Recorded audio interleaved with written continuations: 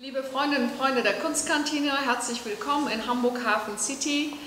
Ja, leider sind wir immer noch äh, in Lockdown und ab heute, sieb, äh, heute ist der 19.01.2021, gibt es wahrscheinlich auch noch neue, ähm, ja, neue Einschränkungen.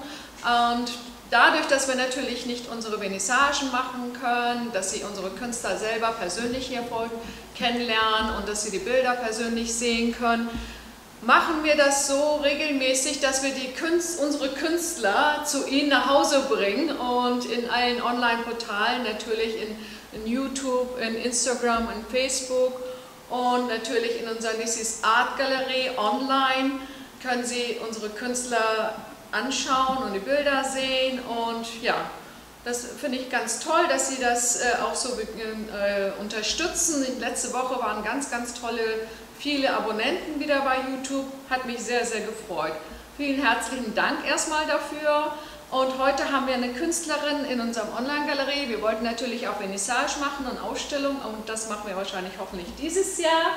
Bis jetzt ist es nicht da. Manuela Ratjens, herzlich willkommen. Nissis Kunstkantine, Manuela. Hallo. Danke, Nissi. Hallo. Dank für die Einladung. ja, Manuela, also jetzt kommen die Künstler natürlich äh, hierher und stellen sich einfach vor. Du bist jetzt in unserer Online-Galerie schon ein bisschen äh, längere Zeit vertreten. Stell dich doch mal vor, die, meine äh, kunstinteressierten Kunstsammler, äh, Freunde der Kunstkantine kennen dich noch nicht persönlich, weil wir noch halt natürlich keine Vernissage hatten. Nee. Wer ist Manuela? Erzähl doch ja, mal. Ja, wer ist Manuela? Manuela, ich bin 59, oder ich werde im Februar 59 Jahre alt, also das ist ja. nicht mehr lange hin, noch knapp drei Wochen oder ein bisschen mehr über drei Wochen. Und ähm, ja, ich bin seit 2010, habe ich offiziell mein Atelier eröffnet, Atelier Manu. Ja. Und äh, bin dann als Atelierista mit einer kunstpädagogischen Ausbildung ja. in die Malerei gestartet und wollte eigentlich ursprünglich mit anderen malen. So. Ja. und durch dieses mit anderen malen, ähm, ich habe dann ein privates Studium bei einem äh, Maler äh, an der Comutesis Kunsthochschule absolviert, habe viel, viel dazugelernt, ja. habe gelernt, ähm, wie man komponiert, wie man Techniken anwendet und konnte das natürlich auch meine Schüler weitergeben.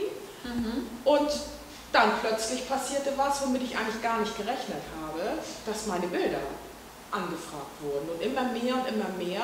Toll. Ja. Und mittlerweile ist es so, dass ich die Workshops eingestellt habe. Es sind nur noch immer mal wieder meine Kursteilnehmer, die schon seit vielen Jahren da sind. Die kommen alle 14 Tage mal zum Malen. Ja. Ansonsten widme ich mich ausschließlich meinen Werken ja. Und äh, so erfolgreich, dass ich äh, letztes Jahr gedacht habe, oh Gott, was passiert hier? Also es ist schon immer mehr geworden, immer mehr. Und letztes Jahr war also... Äh, hast du unglaublich viel verkauft? Ja, sehr hast viel. Erfolg gehabt? Ja. du hast dann auch erzählt, äh, ja gut, du bist natürlich ganz viel, ähm, den Erfolg hast du mir erzählt, du bist natürlich viel äh, unterwegs. Ja. Du hast viele Ausstellungen gemacht, Ganz sogar über, weit über 100, weit über 100. Ich das, ja. musste das mal auflisten. Ja. Wahnsinn. Viele Ausstellungen gemacht und viele PR machst du.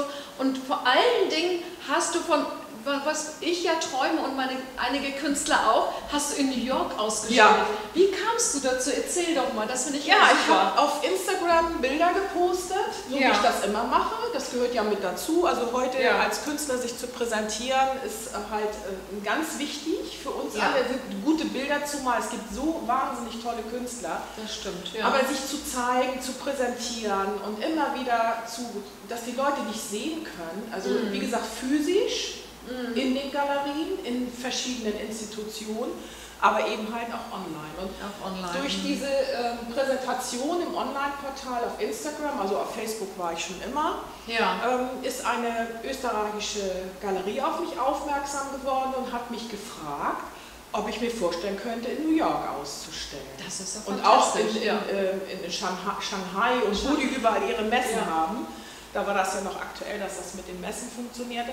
Ja, ja. und dann habe ich gesagt, okay, ich wage den Sprung und habe das gemacht. Das hat mir überhaupt nicht geschadet, ganz im Gegenteil. Es hat mir sehr, ein Sprung nach oben ein großer Sprung. Ja. Also das war 2018 und dann kam ja. 2019 der nächste Sprung. Also jedes Jahr ist irgendwie was, was so total herausragend ist. Ja, 2019 war das mit der Millantor Galerie, wo Wahnsinn. du dann dieses Bild unglaublich gut versteigert Ja. hast. Sag nochmal, erzähl nochmal die Geschichte. Ja, das habe ich gerne. gelesen, habe ich gesagt, toll. Ja. Ich habe Ich mich hab- sehr doll gefreut für dich. Ich habe auch ein tolles toll. Video Ich habe geschrieben dafür. Ja, Ich habe danke. dir gratuliert. Das Also dieses schön. Video gucke ich mir auch immer wieder gerne an. Ja. Also es ist so, dass ich ähm, eines meiner ähm, Herzensangelegenheiten ist, ähm, Dinge zu unterstützen, die mir wichtig sind. Ja. Und dazu ähm, gehört halt die Bildung für Nachhaltigkeit. Ähm, Das finde ich auch mal wichtig. Ja. Also nachhaltige Dinge und dazu gehört eben halt unter anderem der Mensch natürlich an erster Stelle und die Mhm. Umwelt, die Artenvielfalt. Und so ist es gekommen, dass ich für die Millantor-Galerie für ein Projekt in Mosambik, für den Brunnenbau, ein Bild zur Verfügung gestellt habe. Ja. Es gibt ja alljährlich äh, für Viva Con Aqua, die gehören ja Viva Con zusammen. Aqua. Mhm. Also das geht über die Millantor-Galerie und ähm, das Tochterunternehmen äh, Viva Con Aqua oder umgedreht ist es das, bevor ich das jetzt durcheinander bringe. Mhm. Die brauchen Geld, um Menschen für Wasser, äh, Menschen Wasser zur Verfügung zu stellen. Ja. Und äh, unter anderem ist das eines meiner Hauptangelegenheiten. Und ja, und dann wurde über äh, Christie's, über Mhm. äh, die Auktion Christie's, das Bild für 8.500 Euro Ja. versteigert. Und ich habe da gesessen und habe gezittert und habe gedacht, ich glaube das jetzt nicht. Ja, und so konnte, konnte mein Werk einen sehr, sehr großen Teil dazu beitragen, dass eben halt der Brunnenbau in Mosambik äh, also mit unterstützt wird. Ja. Also das ist zum Beispiel eines meiner, meiner Projekte. Projekte. Ich habe Mhm. aber ganz viele andere noch, Artenschutz, Artenvielfalt, deshalb auch die Ja. Bilder. Und ähm, Mhm. ja, so ist das, so geht das immer weiter. Erzähl mal gleich von deinen Bildern und das ist ja äh, also richtig farbenfroh, so wie Ja. du ja auch. Ne? Ja, ich bin sehr sehr, sehr gerne. Ja, erzähl mal äh, für, zu deinem Bild. Wie kommst du jetzt auf diesen Ja, also es gibt, äh, ähm, Motiv zum ich Beispiel? Ja. Ich habe letztes Jahr angefangen, Serien zu malen, also in Serien.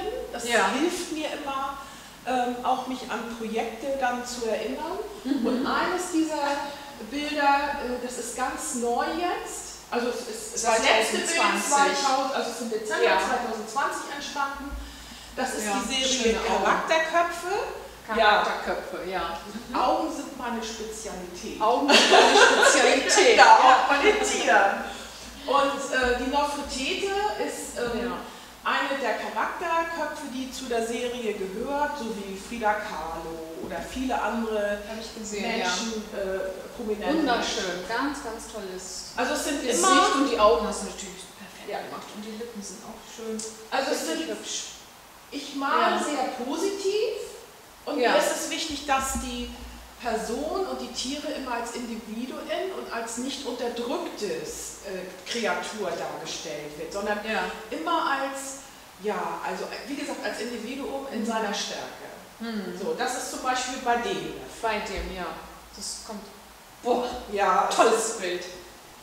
Kommt sehr gut. Ich Wunderbar. liebe ja die kalten Farbtöne. ne? Ich liebe ja Blau. Blautöne in allen Varianten. Ja. Das sieht man natürlich auch. Auch Gold. Oh, natürlich. Ja. herrlich. Ist das Acryl Ja. oder Acryl? Ne? Das, das trocknet Ja, auch ganz hochwertige Acrylfarbe, Acrylfarbe, die ich ja. verwende. Mhm. Und äh, das ist mir auch wichtig. Da sollte man auch nicht dran sparen. Ja, und mit Mhm. ganz vielen verschiedenen Glänzt Techniken. auch toll, deswegen. Ja. Das glänzt ja Ganz fantastisch. hoch veredelt auch. Ja.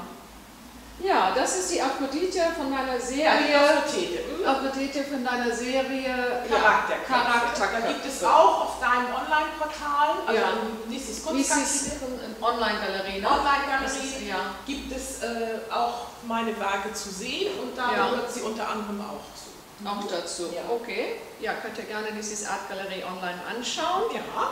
Manuela. Ja, und dann natürlich Ja. Mickey Maus. Ja. Fantastisch. Ich habe erst letztes Jahr angefangen, ähm, Pop-Art-Bilder zu malen, ähm, aus folgendem Grund, weil es fällt mir dort leichter, auch mal etwas, ja, auch mal etwas darzustellen, was ähm, so ein bisschen mit einem Augenzwinkern ist. Das ist ja, das sind ja sehr ernste Themen. Mhm. Und das wiederum, das ist jetzt das- Cover der Vogue, Ach so. Ja. ein Cover der Vogue. Und. Okay. Sie ja. hat es als erste Frau auf das Cover der Vogue geschafft ah, und deshalb zwinkert sie auch.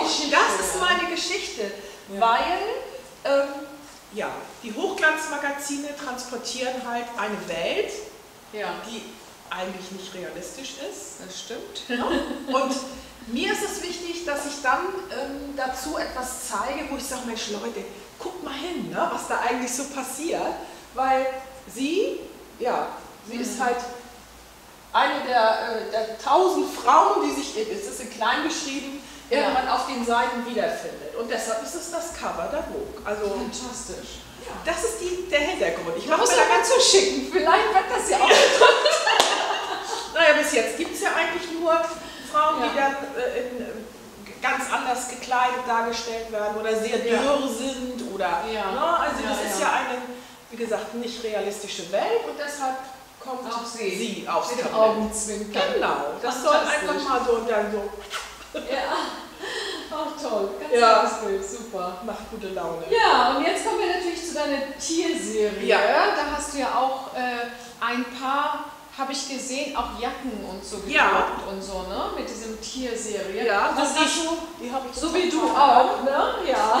Das ist meine, meine, deine Passion, genau. Ja. Ja, fantastisch. Mein Passion, also das heißt meine, meine Tierserie, aber auch, es gibt auch Frauenporträts, die auf meiner Jackenserie Auch deine Jackenserie, ja. Also eine limitierte Auflage, die seit letztem Jahr erhältlich ist und die gibt es auch in meinem Shop aber kann man natürlich auch gerne ja. bei Nissi beziehen, Bei wenn da Fragen sind. Ne? Genau, Nissis Art Galerie kommt genau. das jetzt auch. Die Jacken und so, jetzt haben wir erstmal die Bilder, aber jetzt genau. kommt der Shop und dann, und dann kann man mal gucken. Kann man ja auch die Jacken und so auch. Genau, es gibt nur 100 Stück. Mhm. Und, jede, und ja. jede Jacke unterstützt wieder die Biodiversity von Dirk Steffens. Das ist hier in Hamburg eine Stiftung. Mhm. Auch wieder. Auch wieder, ja. Mhm. ja. Nachhaltig. Nachhaltig. Also Sehr schön. Kombinieren. Aber nochmal zu meinen Tieren.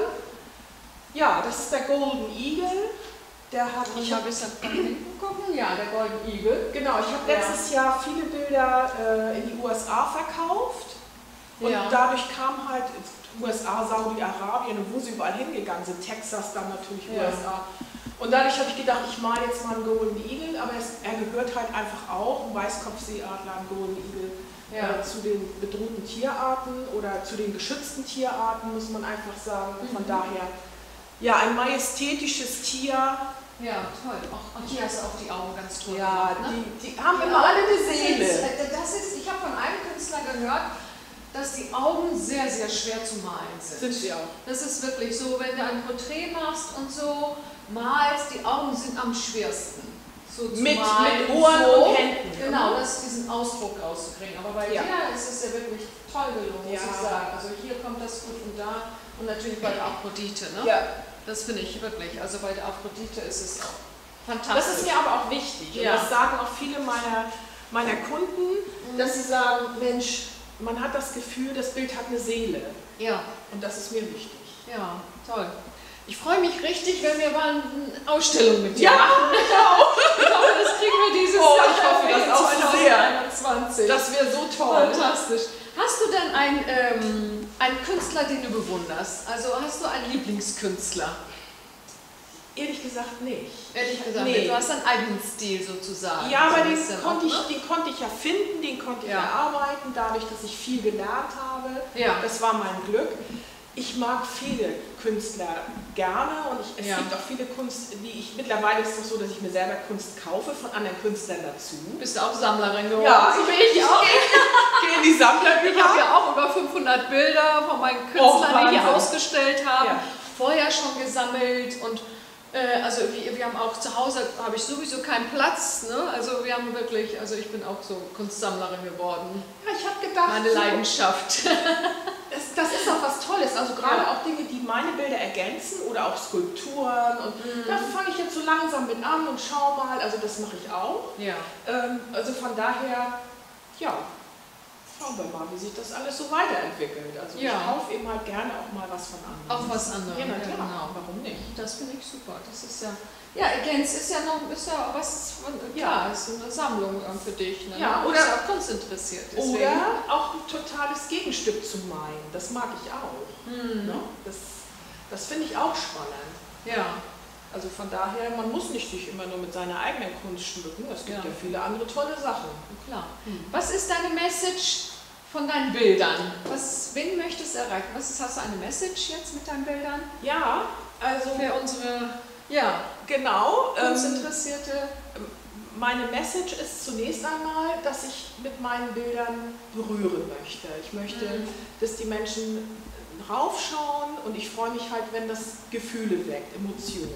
Mhm. Und was mir aber besonders wichtig ist, deshalb eben halt auch vielfach diese Nachhaltigkeitsthemen, dass mhm. ich mit meinen Bildern aufrüttel mhm. und dass die Menschen nachdenklich werden. Ich mhm. bin nicht derjenige, der so mit dem Finger drauf zeigt und sagt, ah, das muss. Deshalb sind meine Bilder nie, nie brutal oder ja. nie so krass, sondern immer mhm. positiv gestimmt und ich denke, dass das Positive, farbig, sehr farbig, ja. äh, dass, das, dass dieses Positive mehr bewirkt als etwas Negatives. Ja, klar. Das ist meine Einstellung dazu. Ich bin halt einfach auch so, ähm, ich bin im Leben dahin gekommen, weil ich äh, immer wieder voran, voran äh, mich mhm. an, Dinge an Dingen orientiert habe, die mich nach vorne gebracht haben. Ne? Sehr gut. Ganz toll. ja. Was ist denn, ähm, was hast du vorgenommen für 2021? Oh. Was ist dein Traum? Ah, ja, also mein Traum ist, ich habe tatsächlich einen Traum, ähm, ich möchte unbedingt gerne mal nach Paris mit meinen ja. Bildern. Ähm, ausstellen. Ausstellen, okay. ja. Letztes Mal hatten wir New York. Ja, als Wunsch. Genau, jetzt, jetzt möchte ich Paris. grundsätzlich, grundsätzlich ja, ist man ja haben. Ja, ist klar. Grundsätzlich ist es so, dass ich ähm, gerne noch weiter international ausstellen möchte und auch international mich zeigen möchte. Das hat sich ja, ja nun letztes Jahr eben halt immer wieder weiterentwickelt. Und ähm, von daher hoffe ich, dass wenn wir wieder reisen dürfen, ja. dass dann auch mal andere Länder mit gemeinsam mit meinen Bildern, weil ich finde das so schön, weil mhm. mich inspiriert sowas auch. So, die, die, die, die Städte inspirieren mich, die, mhm. Die Farben der Städte, äh, die Architektur. Das sind genau, alles da Dinge, kommst du wieder auf andere Ideen, was genau. zu malen ja. und so. Ne? Das sind alles Dinge, die mich interessieren. Das möchtest du dies Ja, also von daher schauen wir mal, äh, natürlich noch weiter mich etablieren, ähm, aber mhm. vieles läuft mittlerweile auch von mhm. alleine, sag ich mal, dank der jahrelangen Arbeit. Ja an den Dingen. Das ist schon schön. Das ist ein tolles International Erfolg ja. möchtest du eigentlich haben. Ja. ja, wunderbar. Aber du bist ja im besten Weg. Ja, ne? das du läuft. bist ja so im besten super. Weg. Und ich habe also gemerkt, also du hast ja gar nicht äh, gut außer Ausstellung, sonst hast du mit von Corona letztes Jahr 2020 keine großen Einschränkungen Ganz im Gegenteil. schon gehabt, aber Erfolg trotzdem, ne? Hast du gehabt? Erzähl mal. Wie also Jahr ja. 2020, unser Corona-Jahr? Also für mich war 2020 ein, ich mag das immer gar nicht sagen, weil so viele Menschen immer so ja. negativ eingestellt sind. Und mich, dann denke ich mir so, oh, sag bloß nichts. weil für mich war 2020 super. Ich mhm. bin sowieso jemand, der, wir leben ja sehr dörflich mhm. und mein Atelier ist auch an meinem Haus dran. Ja. Ich brauche meine Ruhe, wenn ich arbeite. Das ist wichtig. Ich ja. bin jetzt, ich genieße das jetzt mal in Hamburg zu sein, also auch hier so durchzufahren und so den Flair ja. mitzunehmen. Aber ich bin auch froh, wenn ich dann wieder zu Hause bin. Insofern, für mich hat sich nicht viel geändert. Ganz im Gegenteil, es ist so, dass diese Dinge, die sowieso schon auf den Weg gebracht wurden, die haben sich letztes Jahr so manifestiert. Ich habe so unzählig viele Bilder verkauft. Fantastisch. Und es sind ja. auch viele auf mich zugekommen, äh, die dann gerne noch weiter Galerien oder was auch immer, mhm. ähm, wo ich nie mit gerechnet habe. Und das ist ja. natürlich ein tolles Geschenk. Und von daher, ja. ja. Ja, das haben wir auch erlebt. Also dadurch, dass wir natürlich, okay, zu hatten, haben wir uns ja eine Online-Galerie gemacht, wo du ja auch vertreten mhm. bist. Und auf einmal haben wir wirklich außerhalb Hamburg auch verkauft ja. und Erfolg gehabt und äh, von Wien bis, äh, bis Oslo, bis England haben wir wirklich Bilder verkauft von den Künstlern. Normalerweise ist es natürlich so, wenn die äh, Kunstinteressierten zu uns kommen, war das natürlich schon ein bisschen Hamburger Publikum. Aber jetzt mhm. durch diese Online äh, sind wir natürlich auch internationaler geworden und das war auch immer so mein Wunsch, dass ich äh, die Hamburger Künstler, meine Künstler außerhalb der Galerie auch mal präsentieren kann, international machen wichtig. kann und die Anerkennung, was die bekommen, dass sie das auch wirklich äh, anerkannt werden und dass sie auch weiter malen können, dass sie auch diesen Antrieb wieder bekommen, ja, okay, ich habe nach England verkauft, mhm. nach, äh, äh, ja, nach Wien verkauft, nach Oslo und das ist natürlich auch ein ganz guter Antrieb wieder für die Künstler. Und wir haben wirklich, muss ich sagen, gut, natürlich viele Einschränkungen gehabt durch Events und so, aber trotzdem erfolgreich war das doch für uns. Ne? Wir sind ja natürlich kreativ, dadurch machen wir natürlich jetzt auch unsere Online und YouTube und so und das ist natürlich so, man muss immer kreativ bleiben, Leute. Genau. Künstler, immer, immer aktiv, kreativ bleiben aktiv, und das kreativ. Beste draus machen es ist natürlich wirklich schwer und das ist für viele sehr, sehr schwer, aber es geht. Bleibt dran. Genau. Nicht auf. Wir auf schaffen das. okay. Ja, ich habe Nessie noch ja. ein Buch mitgebracht. Da ja. kann man auch meine Werke drin äh, anschauen. Und es gibt jetzt äh, im äh, Frühjahr ein neues Buch von mir. Das ist immer, wenn ein Kunde ein Werk bestellt, ein, also ein, ein Unikat, dann bekommt er dieses Buch gestellt. Oh, finde ich fantastisch. Tolle Idee. Ja. Also. Tolle Idee. Nochmal. Das bleibt hier bei Nissi. Genau. Das bleibt bei uns.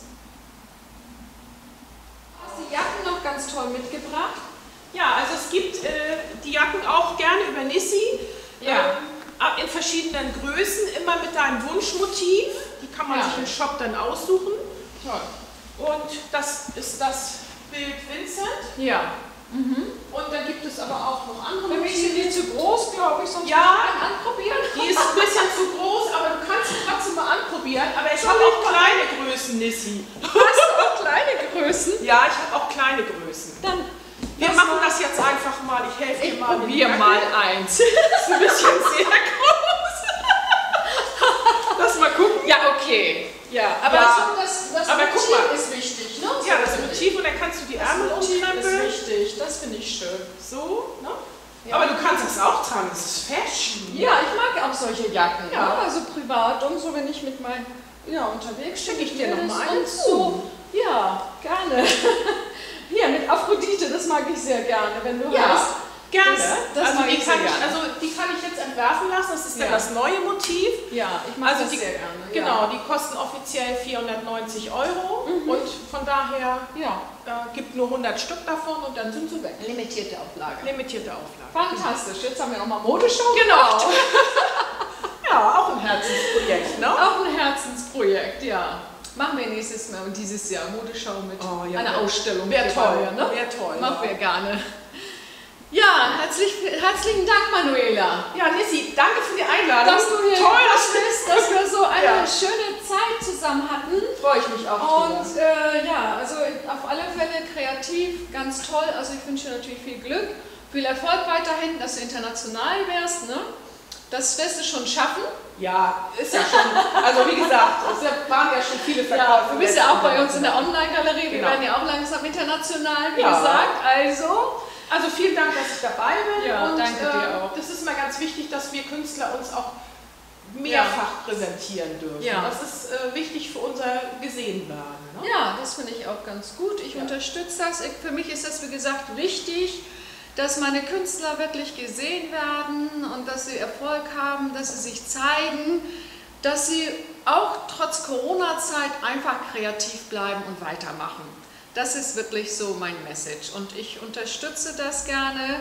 Ich wünsche äh, sehr, dass, äh, äh, dass ihr alle unseren YouTube-Kanal natürlich äh, abonnieren und regelmäßig schauen, was da drin ist. Auch so andere Vernissagen, was in der Vergangenheit war, ja natürlich so mit 100, 200 Leuten war hier immer viel los. Aber so ist es halt äh, unsere Corona-Zeit. Gut, wir machen das Beste draus. Und äh, ja, bleibt positiv, denkt kreativ und bleibt alle gesund. Wir schaffen das. Eure Nissi. Dankeschön. Tschüss.